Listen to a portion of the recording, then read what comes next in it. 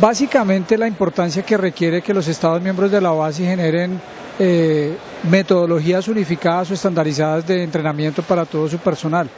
Y particularmente en ese orden de días, pues el Centro de Estudios Aeronáuticos ha venido trabajando de la mano de la Indoamericana para el desarrollo de un conjunto de material didáctico normalizado